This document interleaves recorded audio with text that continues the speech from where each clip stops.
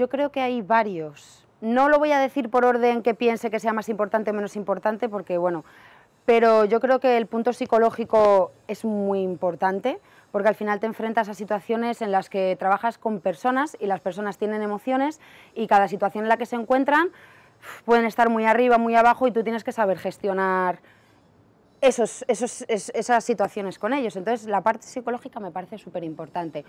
Luego la parte física. Si tú estás entrenando, tienes que saber qué tienes y qué no tienes que entrenar y cómo hacerlo para conseguir los objetivos de ese deportista al que estás entrenando.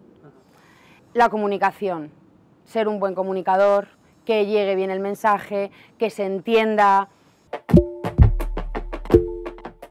O sea, lo que más he aprendido yo creo ha sido la constancia, el compromiso y el compañerismo. La constancia porque al final la rítmica o sea, bueno, no la rítmica, cualquier cosa que hagas, si te gusta, tienes que ser constante.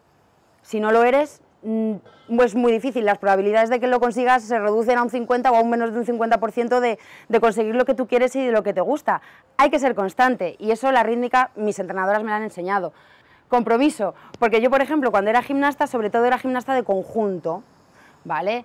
Entonces había que tener un compromiso. Si yo fallaba, eh, repercutía en mis compañeras y si yo no iba a un campeonato, eh, repercutía en todo el mundo y al final si yo quería competir, que era lo que me gustaba, yo tenía que tener un compromiso. Y eso era como, me he perdido cumpleaños, fiestas, de todo por, por ir a entrenar, ¿no? Y luego el compañerismo por eso, porque como yo era gimnasta de conjunto, al final haces una piña muy bonita. Y además, eh, ahora mismo eh, sigo teniendo relación con todas mis compañeras de, cuando yo era gimnasta, entonces eso es genial. Y al final, pues de estas tres cosas que os cuento, es que hay una anécdota muy chuli, bueno, no es muy chuli, sino que yo cuando era gimnasta, pues eh, como 15 o 20 minutos antes de salir a tapiz, me, rompieron el dedo meñique del pie. Estábamos ensayando antes de salir y había que hacer un, un marcaje así fuerte de mi compañera y debajo de ese marcaje estaba mi pie y me rompió el dedo meñique. Yo no sabía lo que, lo que me pasaba, fue como, ah, ¿qué ha pasado? ¿Qué ha pasado? Ah, vamos al baño. Ah". Me quitaron, me echaron agua, tal. Y mis entrenadoras me dijeron, ¿qué hacemos? ¿Cómo estás? ¿Competimos o no competimos? Y yo dije, ¿competimos? O sea, es que ni me lo pensé.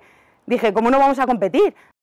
Pues la constancia, el decir, he estado trabajando para llegar a este campeonato, el compromiso. Yo estoy aquí, me he comprometido a venir, y vamos a hacerlo, y el compañerismo, si yo no competía, no competían mis compañeras, ¿no?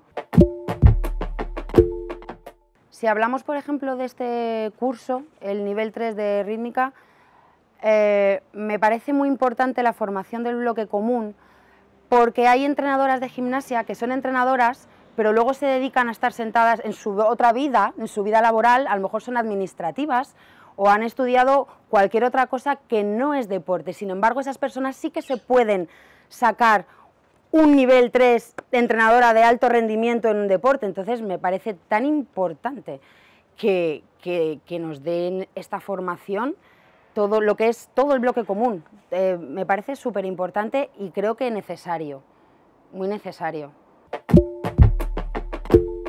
A mí me ha gustado mucho el tema de los líderes, porque ser un buen líder me parece fundamental y me parece pues al final es que si no eres un buen líder nunca vas a, o va a ser más difícil que consigas un buen equipo, ¿no? un buen grupo.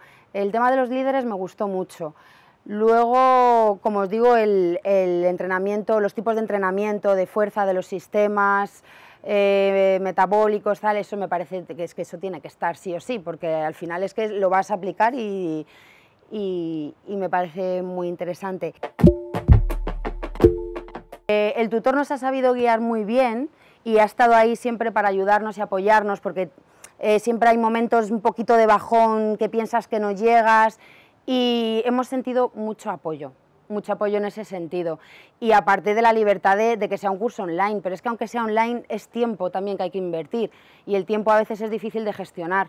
Me parece una buena opción la del online y me parece muy bueno tener un buen tutor que te sepa guiar.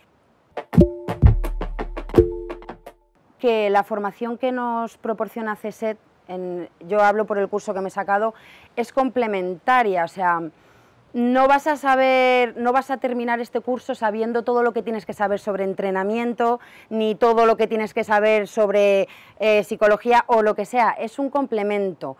Pero yo es que yo creo que para ser entrenador deportivo al final tienes que estudiar, tienes que estudiar un poquito todo lo que tiene que ver con el deporte. Tienes que estar actualizado constantemente. Es que hoy te dicen que los estiramientos eh, previenen lesiones y mañana te dicen que no, que ha salido un nuevo estudio y que no. Hoy te dicen eh, que tomar café es bueno antes de entrenar y mañana te dicen que no. Entonces hay que estar ahí al día, no vale que te saques una formación y ya está. Hay que querer, hay que tener ganas. Tienes que ser, no tienes que ser conformista, tienes que ser curioso.